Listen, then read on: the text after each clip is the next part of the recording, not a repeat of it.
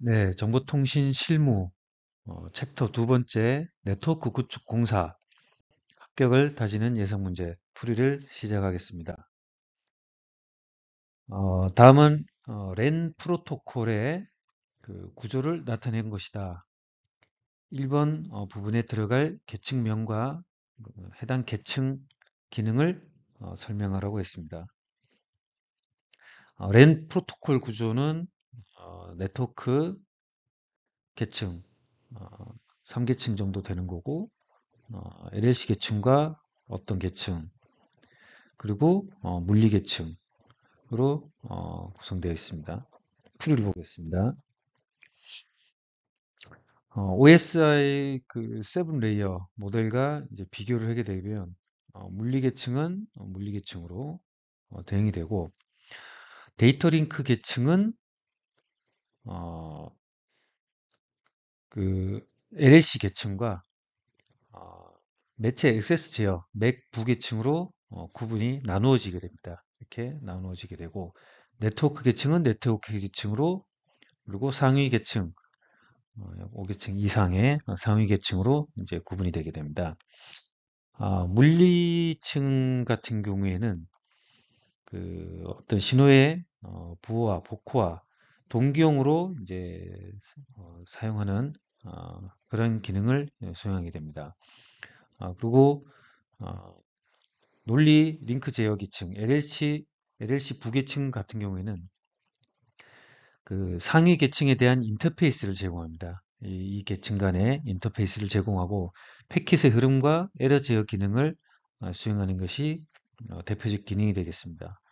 아, 그리고 어, 이번 문제에서 묻고 있는 어, 매체 액세스 컨트롤 어, 부계층에서는 상위 계층에서 전송된 어, 패킷을 어, 프레임으로 구성하여 전송 매체를 통해 어, 전송하는 기능을 수행하고 어, 또그 상위 계층으로부터 내려온 어, 데이터 프레임에 어, 주소와 어, 에러 필드를 추가해서 상대 측 부계층으로 어, 전송하는 아, 그런 기능도 수행합니다. 아, 그리고 주소를 인식하고 오류를 검출하고 어, 랜 전송 매체에 대한 접근 제어 기능 등을 어, 수행하게 됩니다. 아, 암기해 두시면 될 것 같습니다. 어, 따라서 1번 계층에 들어갈 계층명은 매체 액세스 제어 부계층, 맥 부계층이라고 쓰시면 되고 해당 계층의 기능은 랜 전송 매체에 대한 접근 제어 기능, 수신 데이터 프레임의 주소 인식 및 오류 검출 기능을 수행한다 라고 쓰시면 되겠습니다. 어, 두 번째 문제입니다. 무선랜 IEEE 802.11에서 사용되는 DSSS와 FHSS를 어, 영문으로 쓰라고 했습니다. 보겠습니다. 어, IEEE 802.11 표준 같은 경우에는 IEEE에서 어, 제공하는 무선 랜, 어, 무선으로 어, 전파로 통신을 하는 무선 랜 어, 표준 규격이 되겠습니다. 그래서 우리가 그 AP를 설치하고 여기에 이 스마트폰이라든가 어떤 노트북 이런 것들을 연결해서 어, 사용을 하게 되죠. 네. 그래서 표준 규격을 보게 되면 뭐 802.B, A, G, N, AH, 어, AX 이런 것들이 어, 현재 나와서 어, 이용되고 있습니다. 아, 그러면 DSSS는 아, 무엇인가 하면 그 영문 철자로 아, Sequence Spread Spectrum 아, 스펙트럼이라는 것은 주파수 범위 어, 주파수의 넓이 이런 걸 말하는 거고 spread 쫙 펼쳐졌다. 그래서 우리가 이 보낼 데이터를 보낼 데이터에 어, 이런 그 대역폭이 아주 높은 그러니까 대역폭 부분에 있어서 이런 데이터보다 이런 데이터가 훨씬 더 대역폭이 넓습니다. 그래서 이런 아주 어, 높은 넓은 대역폭을 어, 곱해주게 되면 어, 이렇게 이제 변하게 됩니다. 이제 원래 보내야 될 데이터를 어, 이런 높은 주파수로 곱하면 이렇게 어, 아주 넓게 되죠. 따라서 어, 여기 어, 주파수 측면에서 F 주파수 측면에서 여기 중간에 있는 이거는 원래 보내고자 했던 이 어, 낮은 대역폭을 가진 어, 신호가 되겠고 이 스프레드 스펙트럼 주파수 범위를 스프레드 넓게 펼쳤다 라고 해서 이렇게 넓게 펼쳐진 주파수 범위가 발생하게 되는 것입니다. 어, FHSS 같은 경우는 frequency hopping spread spectrum입니다. 어, 대표적으로 이제 사용하는 것이 블루투스가 되겠습니다.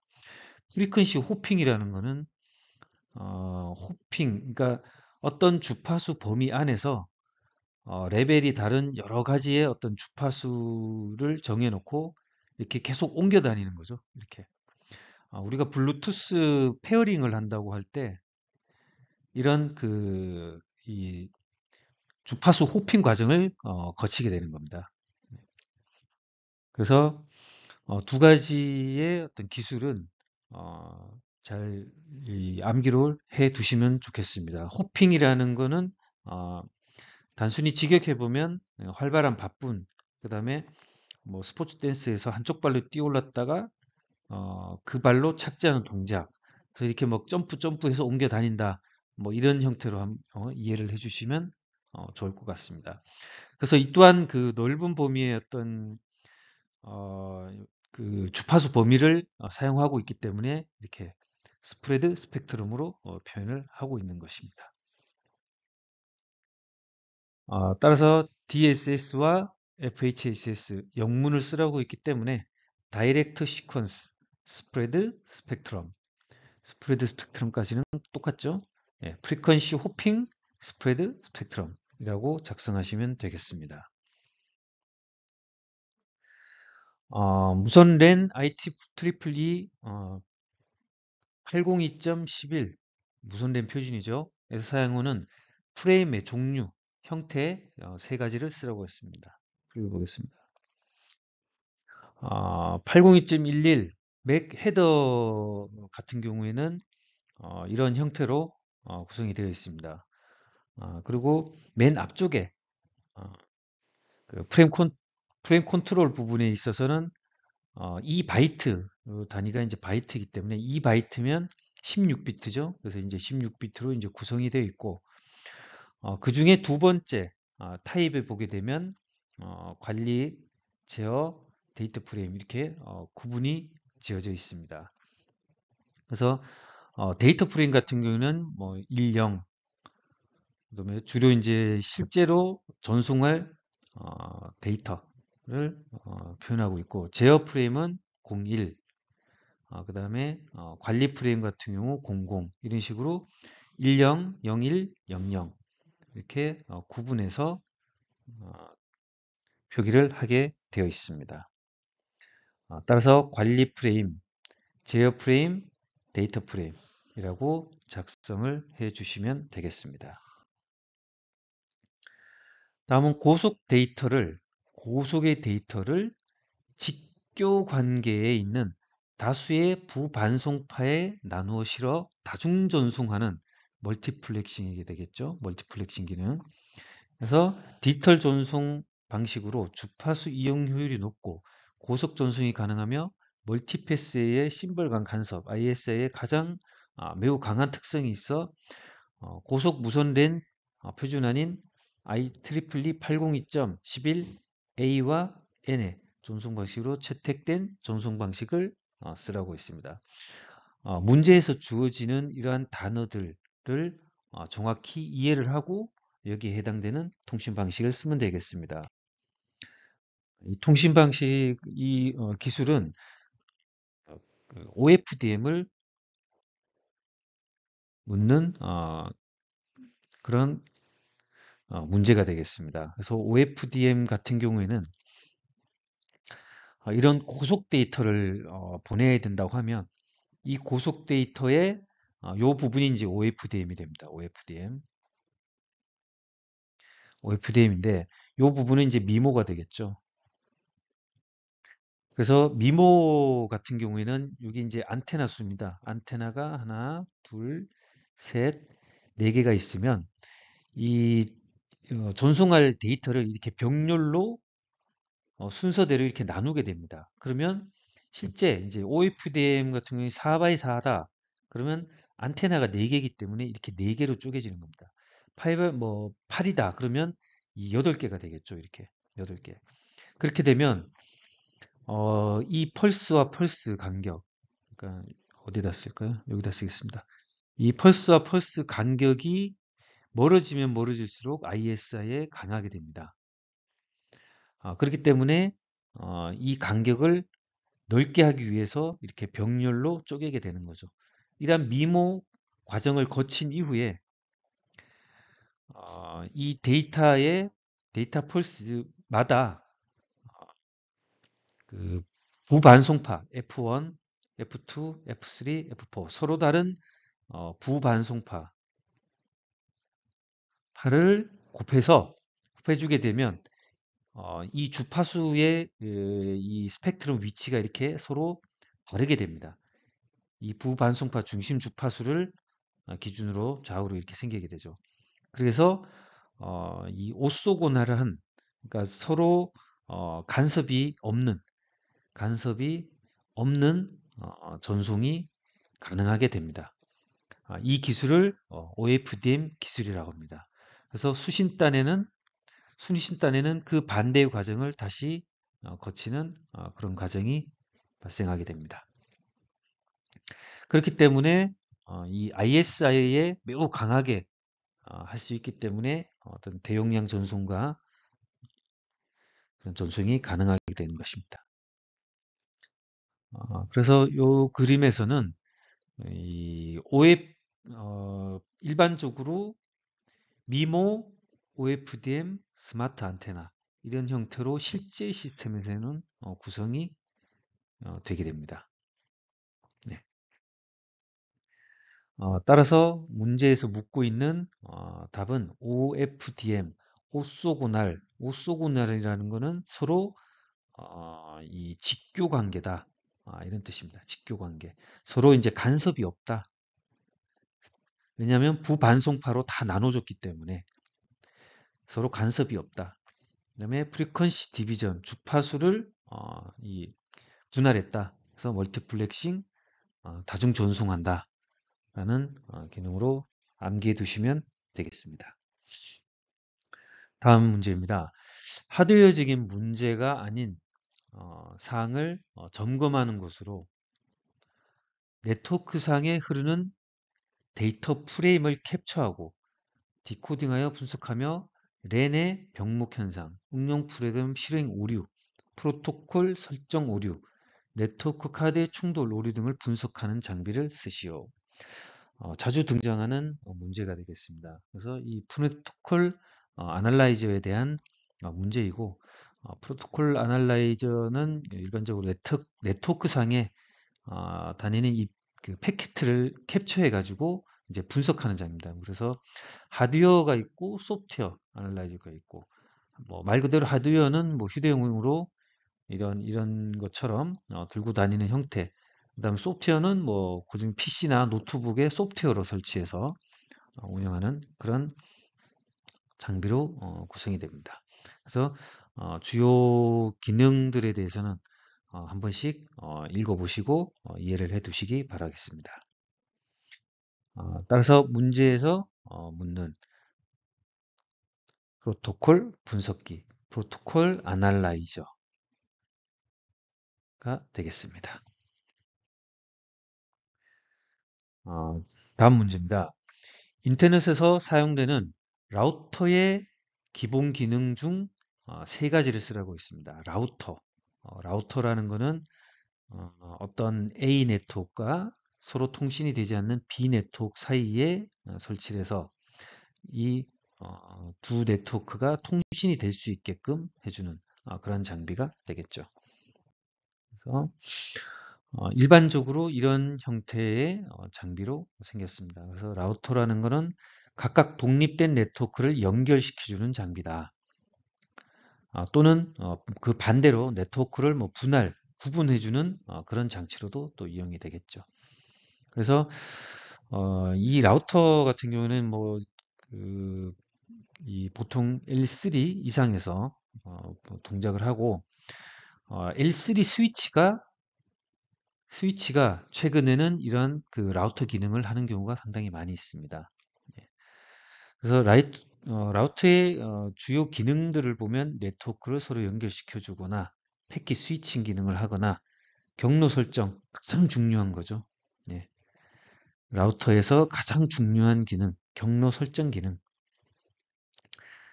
아, 그리고 뭐 기타 등, 등 어떤 그 뭐 우회 경로 라든가 이런 기능들이 있습니다. 이런 특징들은 한번 읽어 보시면 되겠습니다.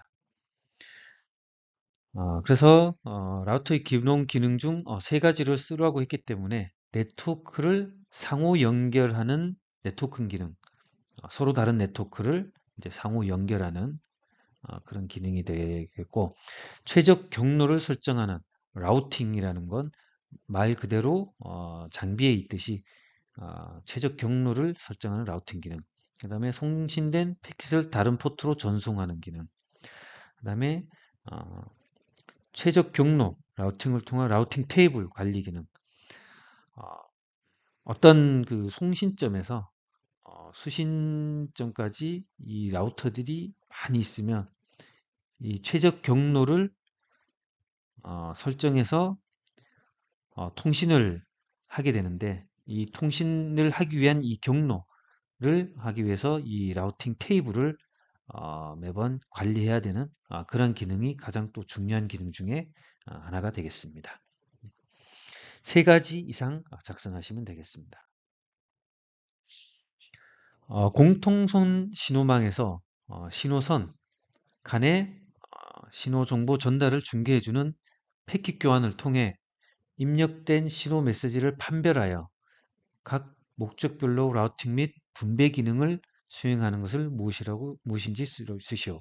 라우팅을 한다고 했으니까 어, 왠지 중간 단위 위치할 것 같다라고 어, 예측해 볼 수 있을 것 같습니다. 그래서 공통선 신호망을 어, 보게 되면 어떤 전화라든지 지능망 서비스, 데이터 이런 것들이 이렇게 어, 프로세스대로 어, 처리돼서 내려와서 SSP, STP 예, 여기서 보시면 STP, STP 어, 중간에 이렇게 있게 됩니다. 그래서 SCP 말단에 있는 SCP 어떤 어떤 서비스 서비스를 위한 앞단에 위치하죠. 그래서 service control point라고 합니다. service control point. 그 다음에 실제 이 전화 사용자 앞쪽에 있는 사용자 앞쪽에 있는 SSP는 어, service switching point라고 하고요.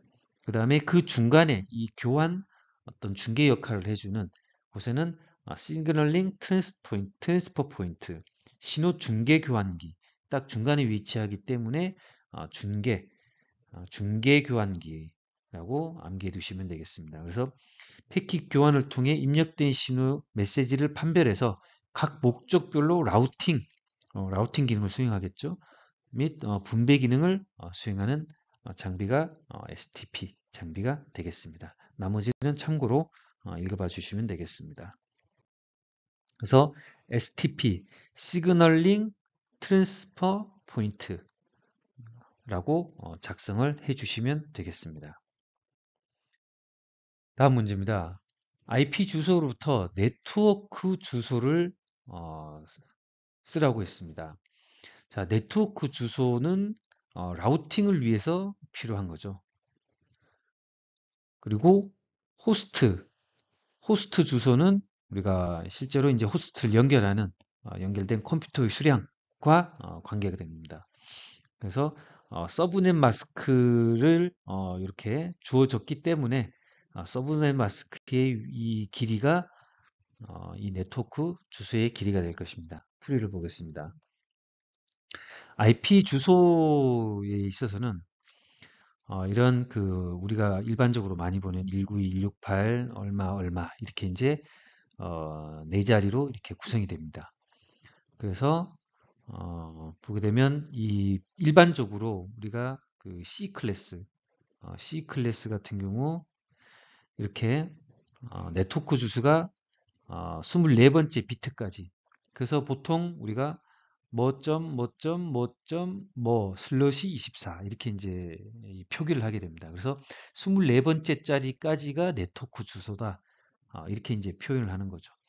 그래서 어, 총 이 32개 32비트 중에 이렇게 어, 이 일반적인 C 클래스에서 있어서는 어, 24번째 자리까지가 네트워크 아이디, 네트워크 주소가 되고 나머지가 호스트 아이디, 컴퓨터를 연결할 수 있는 그런 수량이 되겠습니다. 그래서 어, 실제로 이제 C 클래스는 이제 그렇게 하는데 그 CIDR, CIDR 방식 같은 경우는 이 서브넷 마스크를 통해서 이 네트워크 주소를 앞으로 당기기도 하고 뭐 뒤로 밀기도 하고 이제 그렇게 구성이 가능합니다.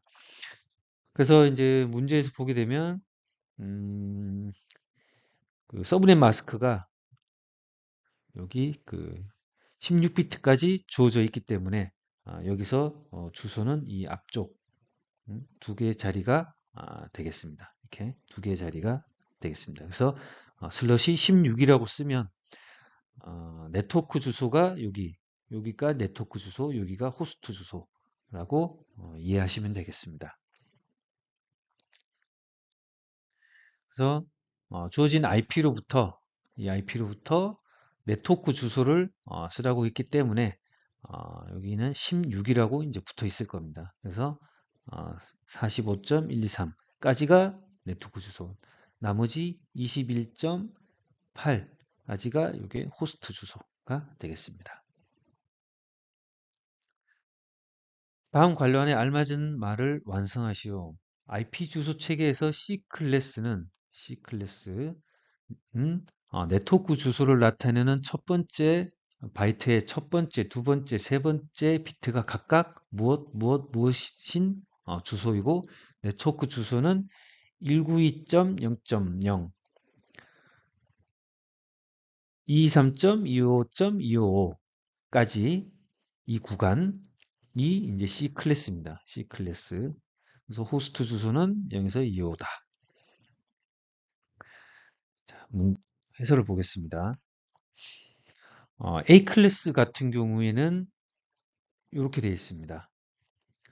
0.0.0에서 127.25까지 그 다음에 B 클래스, 어, C 클래스 그래서 보게 되면 C 클래스 같은 경우에는 110, 1111, 110, 000에서 110, 111까지 그래서 19.0.0.0 어, 요, 여기까지 되겠죠. 네트워크 주소 여기까지 이쪽은 호스트 주소니까 어, 그래서 23.25까지 그래서 어, 답을 보게 되면 세, 첫 번째, 두 번째, 세 번째 비트가 각각 1, 1, 0인 주소가 어, C 클래스가 되겠습니다.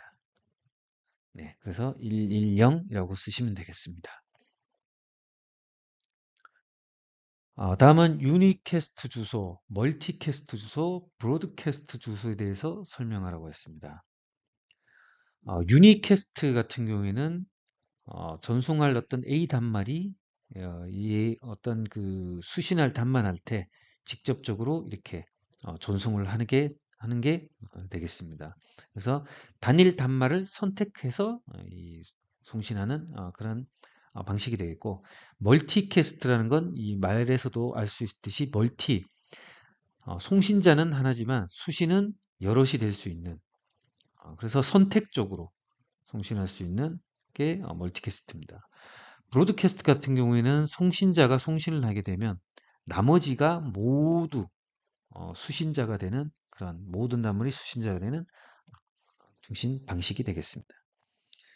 그래서 unicast, multicast, broadcast 어, 각각의 어, 이, 이, 설명을 이렇게 작성을 해 주시면 되겠습니다. 그러니까 유니는 특정, 특정 다수, 그 다음에 연결된 모든 멤버로 어, 기억해 주시면 되겠습니다.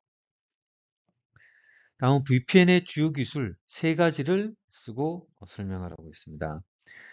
어, 일단 VPN이라는 것은 어, Virtual Private Network 그래서 음, 그 먼 곳에 떨어져 있지만 이렇게 멀리 떨어져 있지만 그 근거리 네트워크, 근거리 통신망인 것처럼 사용하기 위해서 어, 사용하는 어, 그러한 기술이 되겠습니다. 그래서 VPN은 그 인터넷망과 같은 공중망을 사설망처럼 근거리 네트워크, 랜처럼 어, 수 있도록 통신, 체계와 암호화 기법을 제공하는 가상사설 통신망이다. 라고 되어 있습니다. 요건 이제 인터넷망이 될 거고 원거리에 있는 어, 이 시스템 간에 어, 랜처럼 마치 랜인 것처럼 어, 통신하는 가상화 기술이 되겠습니다.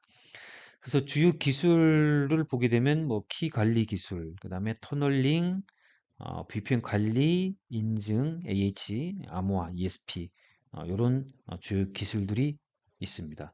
구현 방식도 한 번씩 어, 읽어보시면 되겠습니다. 그래서 어, VPN 주요 기술 어, 세 가지를 쓰게 되면 가장 중요한 키 관리 기술, 어, VPN 보안 알고리즘을 위한 안전키 생성과 키 생성과 키 교환 기술을 어, 활용해서 수동, 자동 키 관리할 수 있는 기술입니다. 그리고 tunneling 기술, tunneling이라는 건 이렇게 말 그대로 tunneling.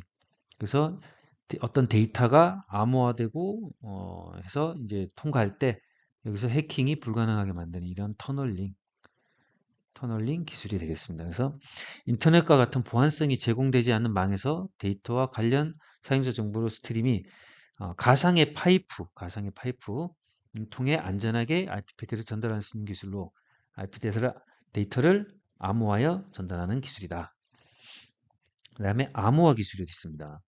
어, 모든 사용 그 송신의 모든 사용자는 공개키 암호화 방식을 사용하고 수신자는 어, 순시시 각자의 어, 보안성을 제공하는 복호키를 사용해서 이 해독하는 기술이죠.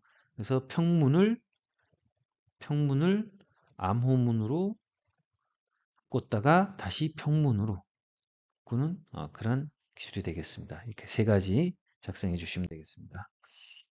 다음은 VPN 키 관리 기술을 설명하시오. 앞서서 잠깐 봤습니다. 그래서 키 암호 알고리즘에 대한 어떤 키를 생성을 하고 어, 생성된 것을 어, 공유해서 하는 어, 그러한 어, 키 관리 기술이고 어, 동일 키를 어, 사용하게 되면 대칭 키, 다른 키를 사용하면 비대칭 키 이런 어떤 그 키 관리 기술들이 있죠.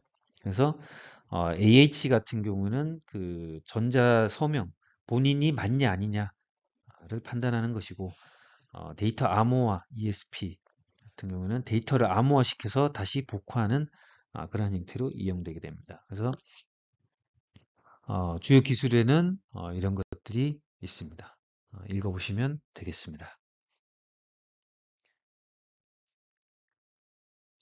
어, 다음은 VLAN의 어, 할당 방식을 어, 쓰고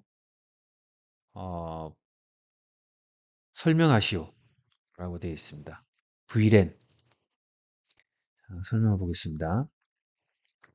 어, VLAN 같은 경우는 어, 그 어떤 물리적인 위치에 상관없이 논리적으로 랜을 어, 서로 다른 어, 브로드캐스트 아까 통신 방식 봤죠 브로드캐스트 송신이 하나면 수신은 다 받아야 되는 어, 그런 그 도메인이죠 그래서 도메인으로 분할하는 어, 그런 기능을 수행하는 것입니다 어, 그래서 VLAN은 어떤 그, 그 구성이라든가 특징 그 다음에 구분 방식 이런 것들은 한번 읽어보시면 될 것 같고요. 그 다음에 이 VLAN을 할당하는 방식은 정적, 동적으로 나눠집니다. 정적인 같은 경우에는 관리자가 각 스위치에 직접 할당해서 이제 fix 시켜버리는 거죠. 고정해버리는 거죠. 고정. 그 다음에 동적은 맥 주소를 통해서 관리 서버가 어, 동쪽으로 불렌을 할당하는 아, 이런 어떤 동적, 유동적 음, 이런 어떤 방식이 되겠죠. 이 두 개지의 어, 방식에 대해서 어, 쓰시면 되겠습니다. 그래서 정적 할당 방식, 동적 할당 방식, 직접 할당 고정된 형태로 그 다음에 서버가 동쪽으로 할당하는 방식 이렇게 쓰시면 되겠습니다. VLAN의 구분 방식 세 가지를 어, 쓰라고 했습니다. 앞에서 본 것처럼 VLAN의 어떤 구분하는 방식 어, 이 각각의 이 단말들을 멤버십에 의해서 어, 구분할 건가 어, 또는 브로드캐스트 도메인 방식으로 어, 구분을 할 건가 그 다음에 스위치 포트로 구분을 할 건가 이렇게 어, 총 세 음, 가지로 어, 구분 방식이 있기 때문에 어, 암기해 두시면 되시겠습니다.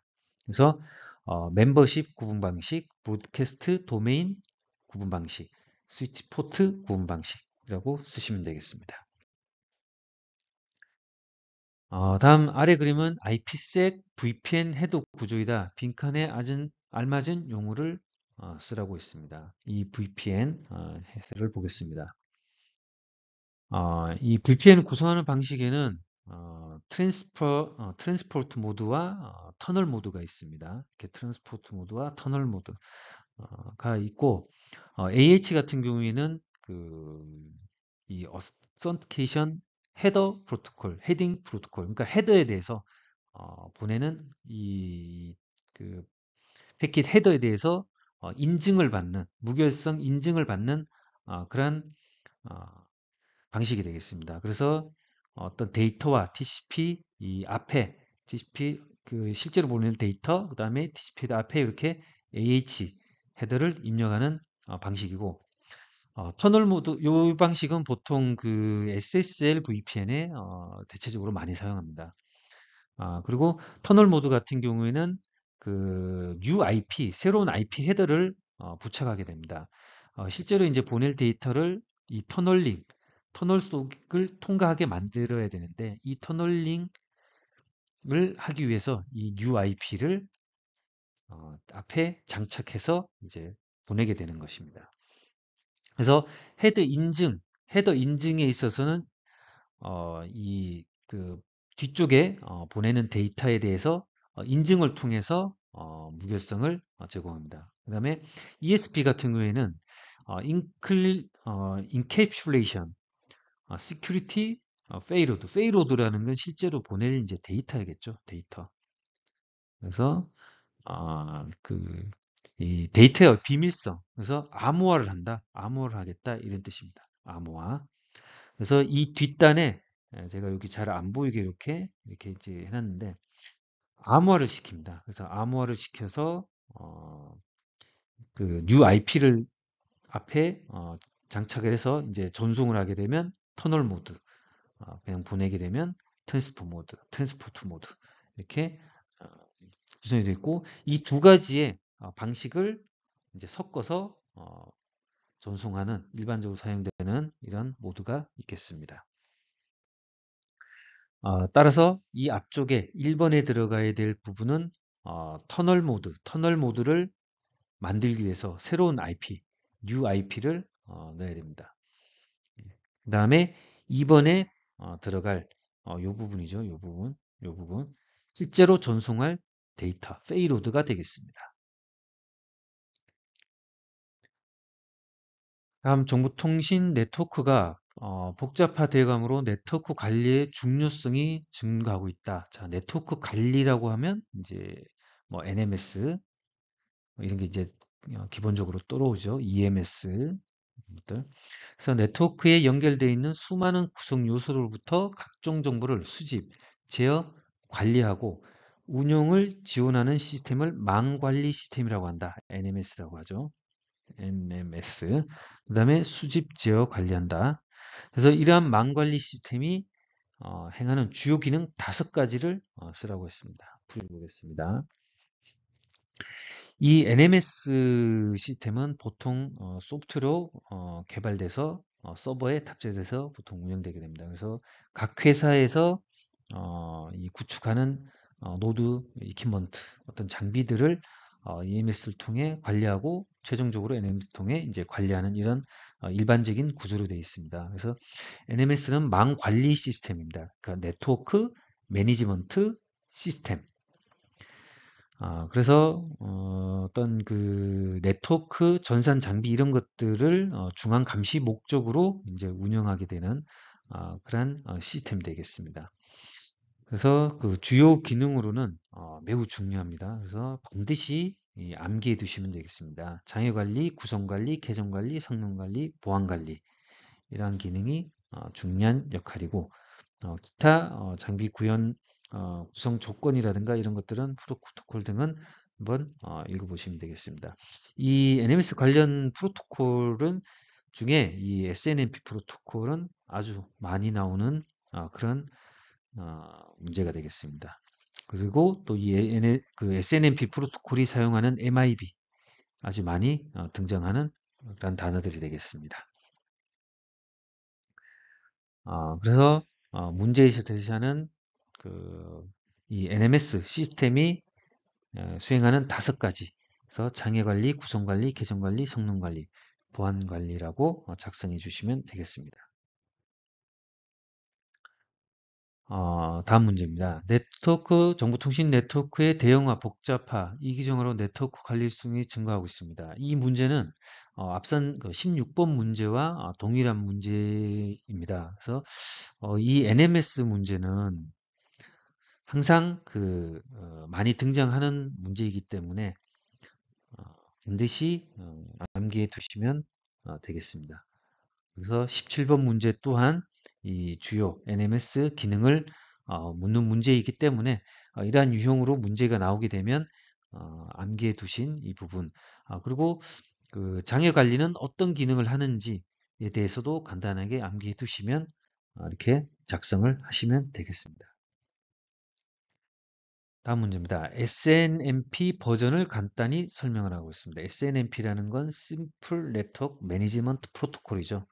어, 그래서 NMS 아, 앞서 말씀드렸지만 NMS 시스템을 운영하기 위해서 이 SNMP P 프로토콜을 어, 사용해서 NMS 시스템을 운영하게 되죠.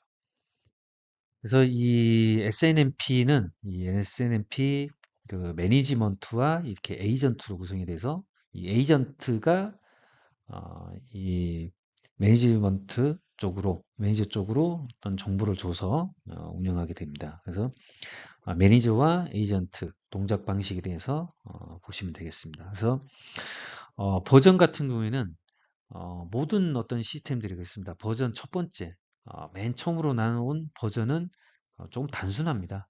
그리고 이제 보안도 좀 미비하고 어, 여러 가지 이제 뭐 좀 문제점들 어, 그런 것들도 어, 있기 때문에 버전 2에서는 이런 약점을 보완했습니다. 약점을 보내서 그 가장 좀 중요한 것 중에 하나가 이제 get bulk request라는 기능인데 이제 이 장비 하나하나마다 한 번씩 계속 물어보니까 묻고 답하고 묻고 답하고 이게 이제 장비가 많을 경우에 이제 너무 복잡하죠 힘들고 그래서 이 대량의 데이터를 효과적으로 검색하도록 한번 쫙 뿌리면 어, get bulk request에서 쫙 뿌리면 어, 모든 어, 장비들이 그 정보를 쫙 어, 보내도록 어, 그렇게 한 어, 기능이 어, 되겠습니다. 이제 개선이 좀 됐죠.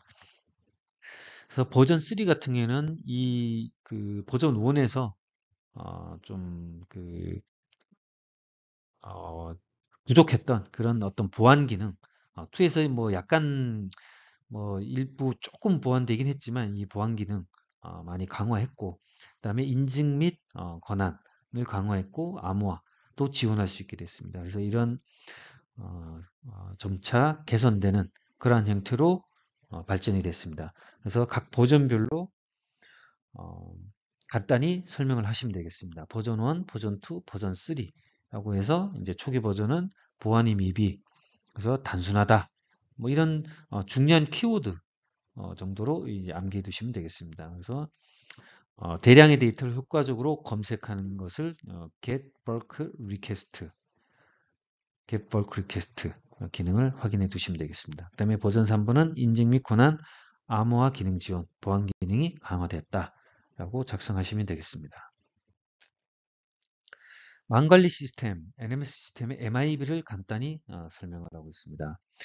MIB 같은 경우에는 그 management information base 그래서 정보의 어떤 베이스 기본이다.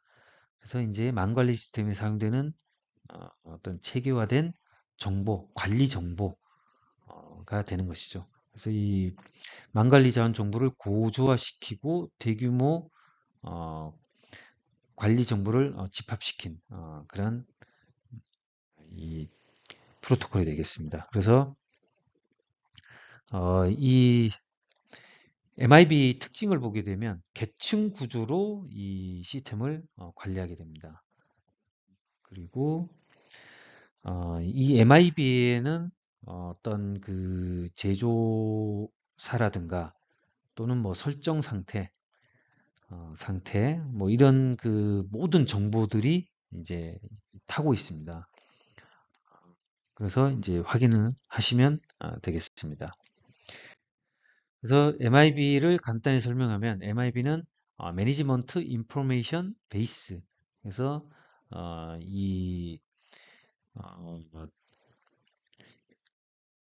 어, 매니저 그러니까 SNMP 매니저와 어, 에이전트가 이제 통신을 할 때 이 어, MIB의 이런 많은 그 정보 어, MAC이라든가 IP 제조사 시간 정보 이런 것들을 태워서 이제 전송하게 되는 것이죠. 그래서 맥 주소, IP, 제조사, 시간 정보 등의 정보의 집합이다. 이게 가장 중요한 핵심 키워드입니다. 정보의 집합이다. NMS 망관리 시스템의 역할을 어, 세 가지 이상 어, 쓰라고 했습니다. 그래서 망관리 시스템은 앞서 봤지만 그 이 통신망을 어, 통합적으로 관리 운영하는 어, 그런 어, 시스템입니다. 그래서 망 관리 시스템의 역할은 보면 어, 교환기부터 망의 상태, 정, 경보, 트래픽 데이터 등의 정보를 수집, 그래서 MIB로 수집을 하죠. MIB 수집 그런 기능이 있고 망 관리 파라미터나 통계 데이터를 계산하고 명령에 대한 교환기 트래픽 유입을 제어하고 어, 망관리 센터의 망 감시반, 망 제어 단말들을 어, 제어하는 이런 역할들을 수행합니다. 일반적인 구성도가 되겠고요. 주요 기능 앞서서도 봤죠. 장애 구성, 개정, 성능, 보안 관리 이러한 기능들을 어, 수행하게 됩니다. SNMP 프로토콜을 이용하게 되고요.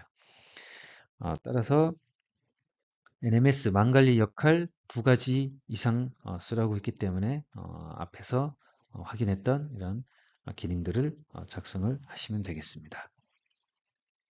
세 가지니까 이렇게 세 가지 이상 쓰시면 되겠습니다. UTM 장비에 포함될 수 있는 보안 기능 네 가지 이상을 쓰라고 했습니다. UTM이라는 것은 예전에는 이 장비들을 어, 파이어월이라든가 아니면 뭐 디도스 또는 뭐 안티스팸 뭐 이런 장비들을 VPN 어, VPN 이런 장비들을 각각 설치했습니다. 그러면 일단 가격이 높겠죠. 어, 그렇다 보니까 도입이 어려웠습니다. 그래서 이러한 장비를 모두 합쳐서 합쳐서 어, 통합된 보안 장비로 만들었죠. 그게 이제 UTM 장비입니다.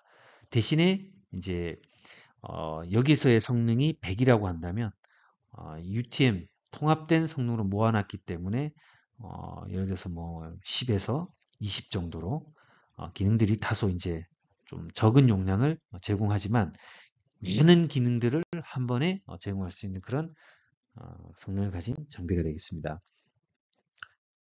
어, 그래서 어, 과거에는 이렇게 따로 구분돼서 어, 구축되던 이러한 어떤 기능을 어, 통합된 기능으로 어, 묶어서 어, 이런 제공하는 그런 장비로 제공되고 있습니다. 그래서 포함될 수 있는 보안 기능이라고 하면 우리가 일반적으로 알고 있는 뭐 방화벽, 그 다음에 IPS, IDS, DDoS, 안티스팸 또는 뭐 VPN 이런 기능들을 어, 통합적으로 다 제공할 수 있는 그러한 장비가 UTM 장비가 되겠습니다. 그래서 네 가지 이상 이렇게 작성을 해 주시면 되겠습니다.